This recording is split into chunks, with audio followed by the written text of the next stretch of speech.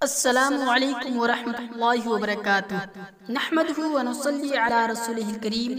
اما بعد، میرے عزیز دوستو، آج کے اس ویڈیو میں میں اس موضوع کے ساتھ آپ کی خدمت میں حاضر ہوا ہوں کہ لوگ یہ کہتے ہیں، سالی آدھی گھر والی ہوتی ہے، یہ عوام میں مشہور ہے، تو کیا اس کے ساتھ صحبت کر سکتے ہیں؟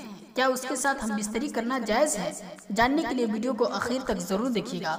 اور چینل میں پہلی بار آئے ہیں تو چینل کو سبسکرائب کر کے بیل آئیکن یعنی گھنٹی کو بھی دبا دیجیے گا تاکہ ہر نئی آنے والی ویڈیو کا نوٹیفیکیشن سب سے پہلے آپ کو ملے۔ تو چلیے دوستو، ویڈیو کی شروعات کرتے ہیں۔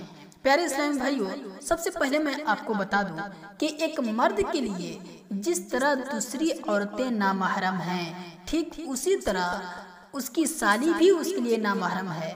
لہذا سالی کے ساتھ ہنسی مذاق کرنا یا پھر زنا کرنا یہ سخت حرام ہے۔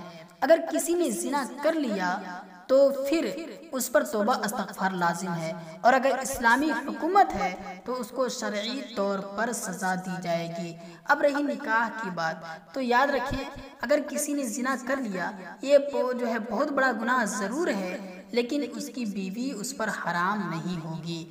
پیارے اسلام بھائیوں اللہ تبارک و تعالی سے دعا ہے کہ ہم سبھی مسلمین کو ایسے گناہوں سے بچنے کی توفیق عطا فرمائے۔ اللہ تبارک و تعالی ہم سبھی مسلمین کو شریعت مصطفیٰ صلی اللہ تعالی علیہ وسلم پر عمل کرنے کی توفیق عطا فرمائے۔ آمین۔